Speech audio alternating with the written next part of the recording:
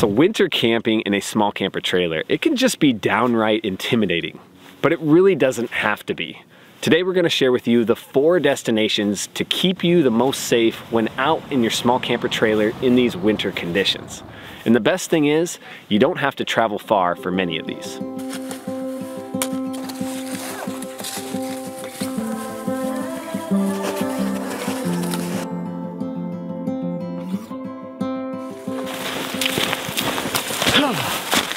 Hey guys, my name is Drew. Welcome to Playing with Sticks. This is a channel devoted to helping you get out here in your small camper trailers and just have a more gratifying and simple camping experience. If you're interested in that, subscribe for more of this type of content. But I just want to start off, guys, and talk about what this episode is not about today. This is not about heading south to warmer weather or renting a cabin or a yurt. All great things to help, you know, break up the monotony of winter.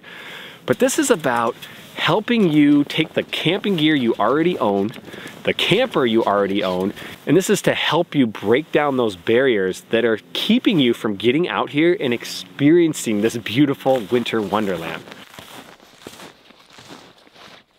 All right, ski resorts. So the first one is ski resorts. Think about it. Ski resorts, you need to get skiers in and you need to get skiers out. So they have some of the best plow equipment in the nation or in the world, right? And then ski resorts have people trained in avalanche safety. There are first responders. They have training in trauma care. So if there's somebody in your party who can contact the local ski authorities, they're going to be able to get out to you quickly and they are trained in finding people. They know how to triangulate a GPS coordinate. They know how to get to you.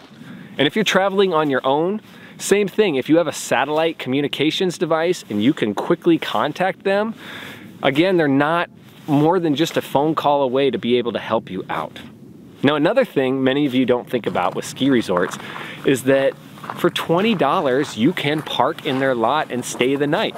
That means we have access to the toilets, uh, to warming up inside, but it also gives you access to be the first one on the powder in the morning and the last one off the slopes at night. And then you get to head into your small little teardrop, drink that hot chocolate, and gaze up at the stars while everybody else has to go home and come back the next day.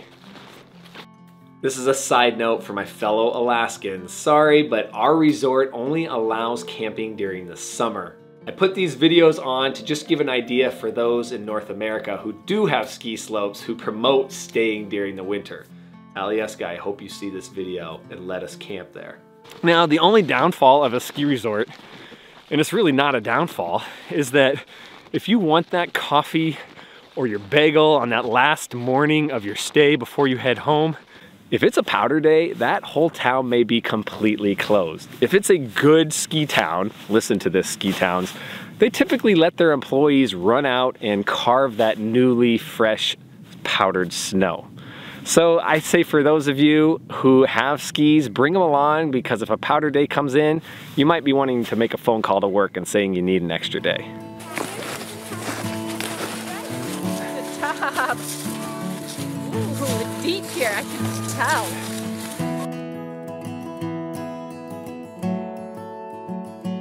In the comment section, I've been having a lot of comments with Jennifer Stewart, so you probably see a lot of her comments.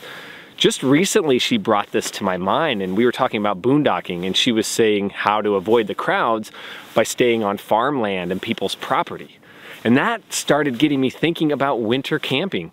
Because as my family grows and my responsibilities grow, I'm starting to get a little more conservative with age, and so as I'm going out in the winter, especially by myself, I'm thinking, what are the most safest spots to keep me out of a hairy situation or a situation where I just make my family uncomfortable. Maybe I'm safe, but they don't know it because I'm stuck out there an extra day and I can't communicate. Well, she used pitched.ca as an example. So pitched is a site in Canada where you can pay someone to stay on their property, just like Hipcamp in North America and all over the world. So next I'm gonna share with you three more safe winter camping destinations. But first, I wanna share with you some of the best advice I've received this year, and that's from the sponsor of this video, backcountry.com. And that simple advice is, if you can walk, you can snowshoe. So choosing snowshoes for East, our four-year-old son, was a bit harder. Our dilemma was, do you pick a snowshoe like an aluminum advanced snowshoe that can grow with him as he learns? Or do you choose a beginner snowshoe that's made of composite materials so that it can help him gain confidence quicker? In the end, we went with the entry level snowball snowshoes by Tubbs, and we now 100% know we made the right decision. Look at this little guy's confidence. So here's what we needed. A snowshoe that could tackle powder, ice, and steep terrain. And I have to say, one of my favorite things about Backcountry's gearheads, besides being available 24-7, they actually got us in touch with an avid snowshoer on staff to help us get all set up. We needed bindings that we could easily get in and out of so we could spend more time helping our kids get in their own gear. We opted for aluminum frames with Nytex decking for that weight savings, toe and heel crampons for the ice and hard pack. Come on, we might as well go for the best and throw on side rails for that extra grip as we're lifting the boys off the snow. We made sure our snowshoes came equipped with heel risers to make it easier on us going up steep hills. With Backcountry's huge selection of the best outdoor brands, I easily found a pair that met all my needs, which were the Atlas Montane snowshoes. And May grabbed herself the Wilderness snowshoes from Tubbs, which both had pretty similar features. We're partnering with Backcountry to encourage you to get outside and find your backcountry, wherever that may be. Use code PLAYINGWITHSTICKS for 15% off your first purchase at backcountry.com.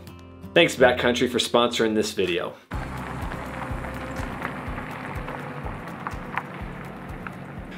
Hipcamp gives you the opportunity to stay in your own pristine winter spot, but knowing you have the safety of somebody on site. So you have somebody there who's going to plow those roads for you and plow your campsite out for you. If things get a little tough or you weren't prepared right when you're there, you can go over, knock on their door, ask for some food, some water, if you're stuck on the way out, they can plow you out or at least contact somebody who has the resources to do that. And another great thing about these is they're predictable. You can call up the owner and say, hey, what's the conditions like? How's it going to be for this type of car getting in? You can't do that with a regular boondocking site. You might go out to your boondocking site and find the snow is so deep you can't even get in. Or what if you show up and there's somebody in your boondocking site? This way you just kind of know and everything's prepared and ready for you.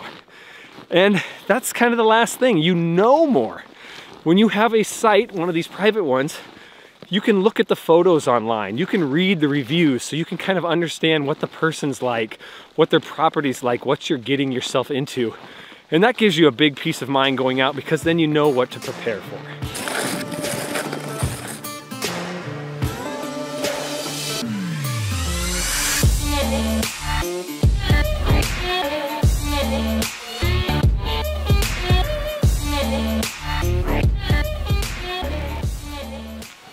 All right, so up here in Alaska, we have very popular backcountry skiing destinations.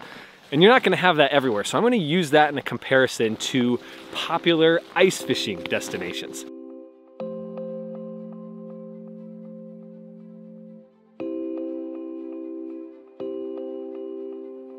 So with backcountry skiing, we typically have people out there, you know, like a park ranger who is digging snow pits, checking avalanche conditions, checking the weather.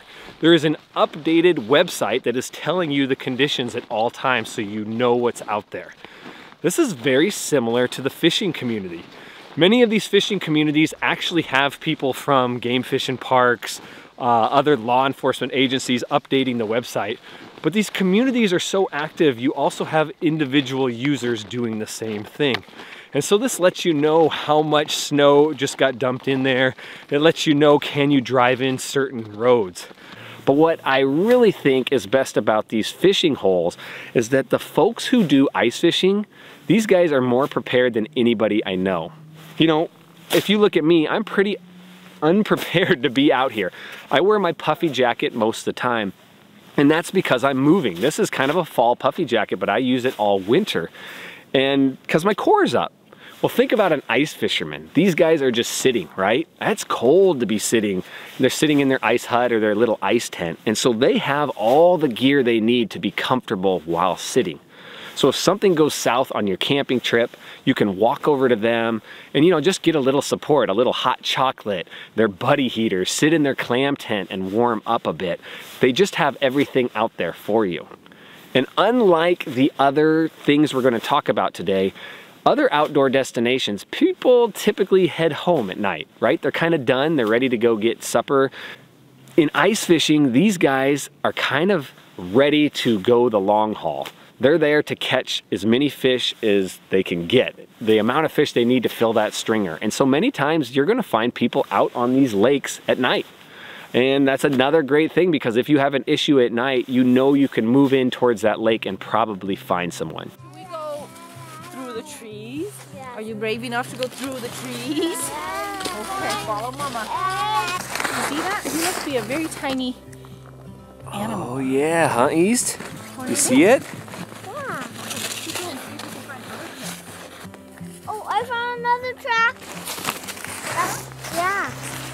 So this one is a good one and it's it's kind of the common sense one. It's the one that I've always been following before I thought more about this. And that's recreational trailheads. So wherever ATVs go in the winter and hikers and backpackers, these are places that are going to have a well-trodden trail. The roads will be packed out. These folks bring with them first aid kit and survival gear. There is going to be a community there that is going to give you a bit of safety in numbers. And then many places that have trailheads also have people monitoring those trailheads. So your park rangers, your local law enforcement. And the beauty of the trailhead, I think, really comes through for those who are solo camping. So just like when I go up in the mountains here and do a hike, I may leave myself or leave you a note saying, hey, I'm gone these days, expect me to be back this day. If not, please contact somebody to come looking for me. Now you don't have to be super specific to give away your campsite, but that does let people know that you're out there and if it's past the date you said you're supposed to be there, they're gonna send people to look for you or at least contact your loved ones who can give them the specific spot. And then you, as a responsible citizen, when you're done with that camping trip, you'll just go back and remove that note and everybody is good. Nobody's gonna worry about you being out there. Um, all these tips are ways to get you out here and help you be safe. Really, it's just about getting out here. The more you're out here, you'll find comfort. Uh, another way to find comfort, uh, if you check out this video, we have a video on electric blankets. That's gonna really increase your comfort out here. If you're watching this video after December 12th, we actually have a video about electric heaters and warming up the cabin of your small camper trailer. But our hope for you is that you find that campsite that gives you confidence, that gets you out here more so you can enjoy what the season has to offer. I hope you all stay safe. We'll see you all in the next episode.